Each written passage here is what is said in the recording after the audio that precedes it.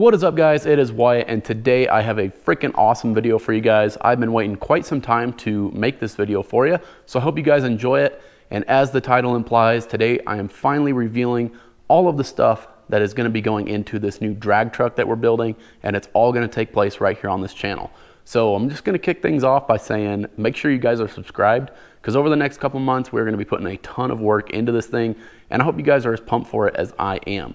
But with that being said, I want to take a quick flashback to last week. Uh, in the last video, I had mentioned that we were working on a Peterbilt 330 semi truck, uh, doing some kind of cool stuff to it. We put a brand new engine in it. We also built a set of custom compound turbos for the truck. So I'm going to show you guys that real quick because a ton of you were interested in that project. I didn't film a whole lot of it, but I will be giving you an overview of the truck. And yeah, so let's go ahead and jump into that and then we will jump into today's video. Well guys, here she is in all of her glory. Finally got the truck done. This is that big Peterbilt project that we were working on that I mentioned in the last video. So this thing is a private coach of one of my dad's buddies and it is a 96 Peterbilt 330. Pretty cool truck, got the nice big sleeper on it. He uses it to haul his horses and stuff. And I'm actually looking for something pretty similar for this to haul the race truck and Hayden's race car around. So being able to work on this and drive it around a bunch has really just solidified that I have to buy one now. Uh, but this thing's pretty badass. So we finally got it running. We put a brand new engine in this thing. It's got an 8.3 liter C series Cummins engine in it, uh, 12 valve. Uh, and that thing is running great. And we also fabricated the compound turbos for it. So let's go ahead, pop the hood.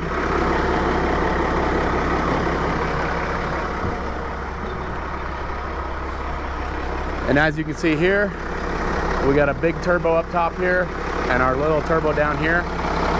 Let me go ahead and shut it off so you guys can hear me a little better. So with the engine off, you can hear me a little better. Uh, we did just finish this truck up. Like I said, uh, badass whole build kind of on it. We did the engine. We also built these compound turbos for it uh, with the help of Hayden over at Meticulous. And these things turned out absolutely sweet. So down there on the manifold, we have a BorgWarner S362, which is kind of a little bit larger than the stock turbo that would have came on this truck. Um, and it's just what was on it when it came in. So that's what we decided to reuse on the manifold. We had our local turbo builder go through it, put a billet wheel in it, and also rebuilt the internal. So it's got new bearings, new seals, all that stuff. And that billet wheel is just gonna help it spool up just a little bit quicker. So that's why we went that route. And then up top here, we have a BorgWarner S475. This is just a box stock 400 series turbo. It's got a cast 75 millimeter wheel in it.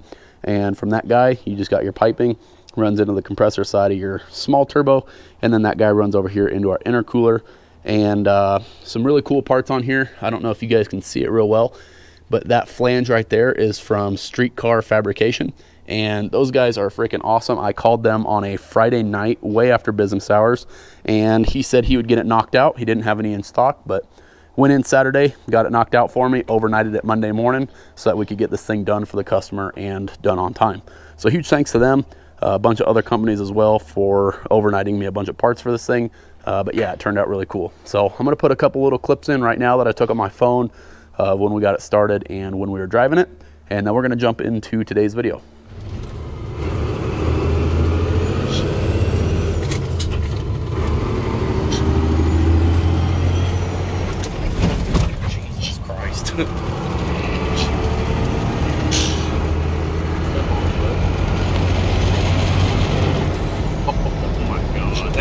That was. There was more. That was 40 pounds of boost. Yeah, it would have went. so all in all, a really cool project. I don't know if I had mentioned earlier, but we also put a brand new engine in that truck uh, this go around while we did the compound turbo setup. Uh, so yeah, like I said, just not sure if I mentioned that earlier or not, but that is what the truck was mainly here for, was the brand new engine and also the compound turbos.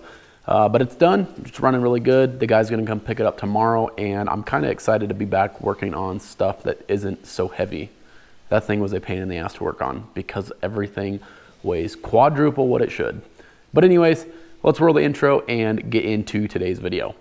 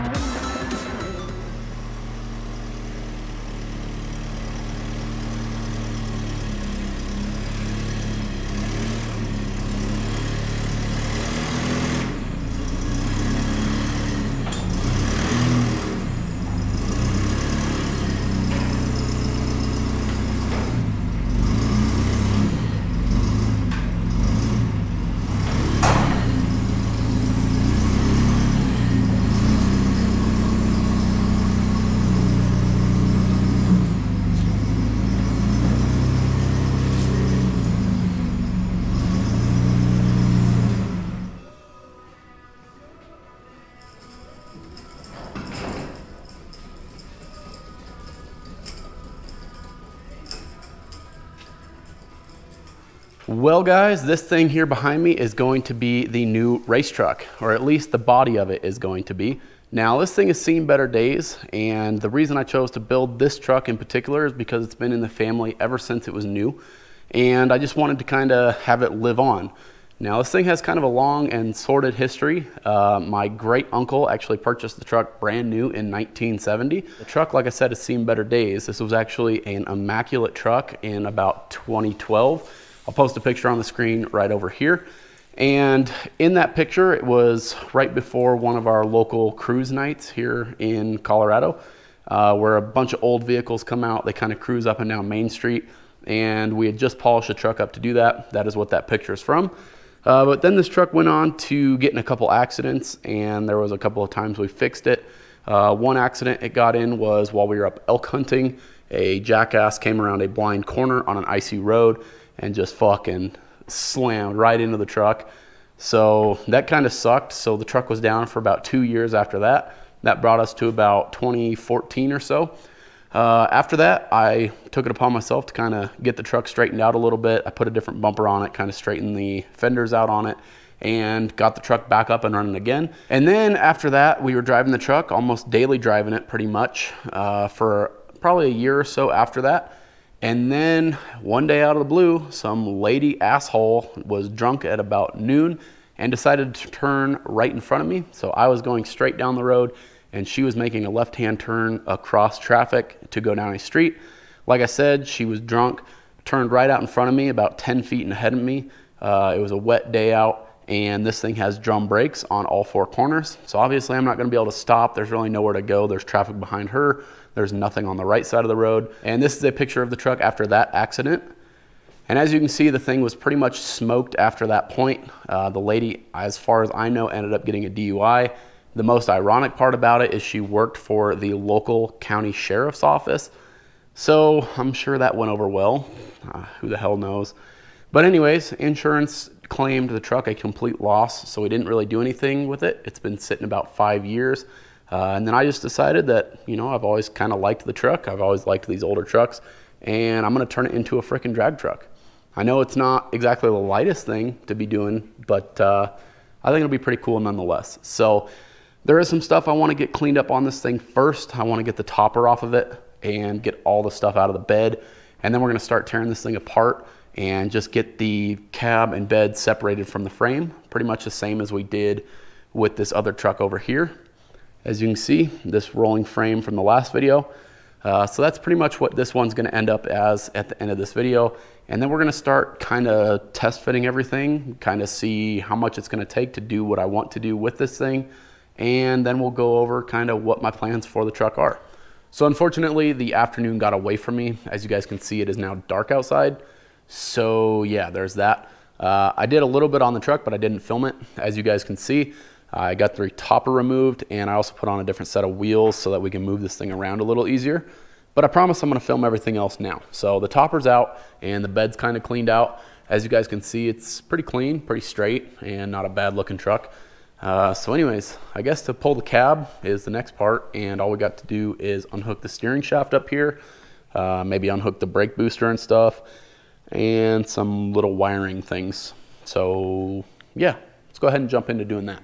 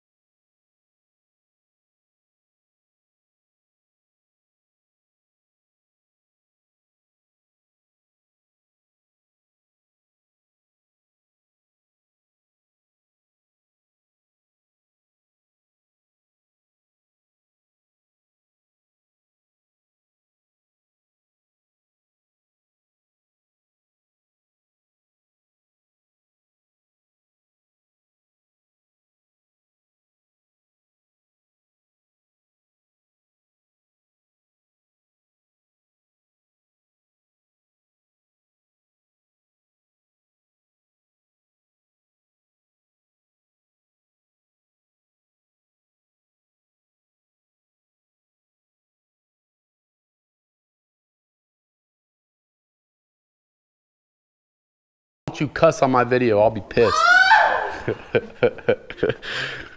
so not gonna lie, kind of got out of hand and we just started doing things here. So we're just test fitting the cab on the frame and kind of looking at this. I am so fricked, it's unreal. This thing's gonna be a pain in the ass to get low, uh, but it's what we're gonna do. So yeah, I got Wes in here, good buddy of mine. He is starting to get the carpet out of the cab so that we can start making some cuts on the tunnel here. Uh, so we're gonna take some measurements and get a really clean cut along this thing here and kind of get that cut out of the way. I already anticipated on doing that because there's no way it's gonna fit over this massive transmission. Uh, the biggest thing that I'm worried about right now is our hood clearance. So the hoods on these are pretty tall and they do stay pretty flat along the whole plane of this. Uh, but by the time I get this down low where I want it and the correct fender to wheel clearance that I want, uh, it's gonna be cutting it really close. So what we're working on for right now is just getting the tunnel cut and getting the cab kind of down on the frame and then we will see kind of uh, where the cab needs to be and if we need to cut into the cab to actually lower on the frame some more. Uh, so yeah, that's kind of where we're at right now. So we're gonna jump into that and see how far we get. It's already pretty late. I think it's like 8, 8.30. And of course, we're already like, uh, what, 10 Coronas deep. So fuck it. Let's, uh, let's get a little bit done here and see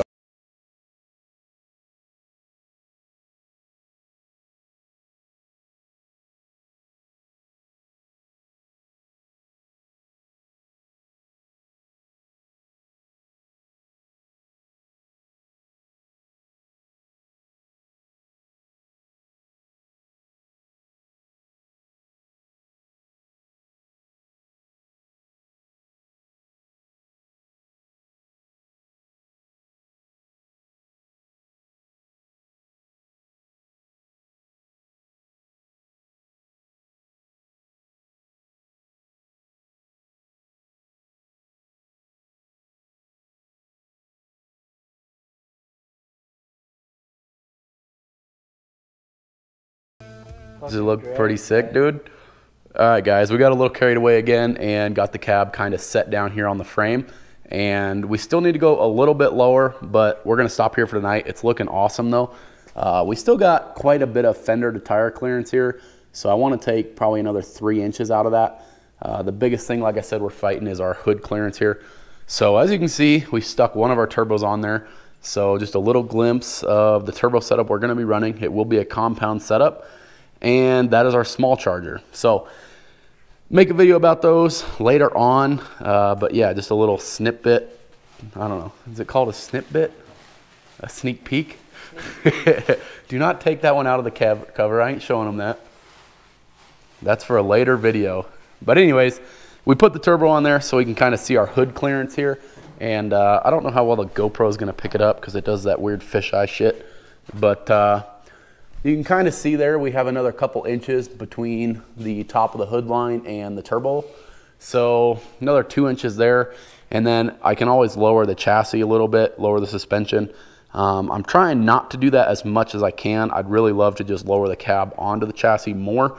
Uh, but you know, it's that fine line. You can only go so much. So that's what we are working on. Uh, we definitely need to trim the firewall some more and that stuff I'll work on tomorrow, but we're getting ready to call it a night. So yeah, it's looking pretty sick, huh? I'm happy with it, dude. It's gonna look badass. Oh yeah. Oh yeah. Oh fuck yeah. We need to drink a 12 pack of Ronas more often. That's how we got all this shit done. But uh, yeah, I'll give you guys a little side shot here before we call it a night. Eh, I don't know how well you can see it here, but anyways, it's getting down there. Uh, like I said, another two inches lower on the frame is what I'd really like. So we'll see if we can get there tomorrow with a little bit of trimming. Uh, but yeah, Anything to say? Shit yeah, buddy. Shit yeah, buddy.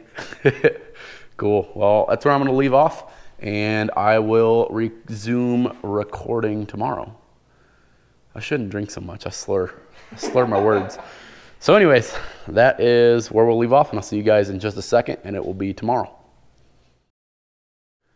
Well, guys, it's been a couple of days since those last few clips were actually filmed. I got kind of busy with customer work, so I got caught up on that yesterday and today.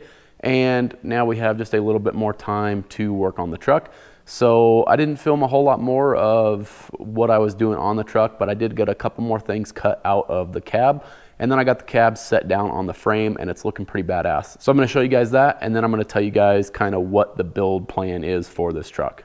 Well guys, there you have it. We got the cab sitting down on the frame and I have it outside here so we can see it in all of its beauty and ugliness. it's a little bit rough right now, but we're gonna address that later. So in the clips that I filmed earlier, the cab was actually sitting a little bit higher on the frame than it is right now. So I've got it about another two inches lower from where it was the other night when I was filming. And I'm really happy about it. It's looking pretty good. Uh, it's actually as low as I'm gonna be able to set the cab down on the frame because with the turbo setup we're gonna be running, this turbo right now is actually already a little bit high uh, to clear the hood. So I do want to run a full hood on this thing and I do not want to run a cowl induction hood. I don't really like the look of those. So I'm trying to keep everything below the hood line so that we can shut the hood and have no clearance issues. And that is what's kind of limiting me for how much I can drop the cab down on this frame. Uh, theoretically, I could cut the cab floor out a little bit and still lower this thing a ton, but then we're gonna run into clearancing issues with shutting the hood. So that's kind of where we're at right now. I did have to cut out some more stuff in the interior to make all of this fit. So I'll show you that right now. So in here, I had to take and trim out the side of this uh, tunnel here and the firewall a little bit to make everything sit down on here. And I'm actually pretty happy with it. It's not uh, too intrusive. It doesn't sit up into the cab too much, the transmission, transfer case, all that stuff. Uh, so it's actually going to fit pretty well. Obviously, I'm going to have to build a custom firewall slash floor pan kind of deal to cover all this, but that's all going to be pretty easy stuff. I'm just happy that it actually fits in there pretty well. Uh, another thing I need to do is I actually want to trim this thing out a little bit more over here, and that way if we ever need to work on this thing, it'll be really easy to pull that kind of cover off and then be able to get the transmission bolts or the back of the engine or whatever we need to do there. Uh, so that's kind of the biggest thing I'm fighting right now is just making sure there's enough clearance for everything. But it's actually looking pretty good and I'm actually really happy with how it's all fitting so far.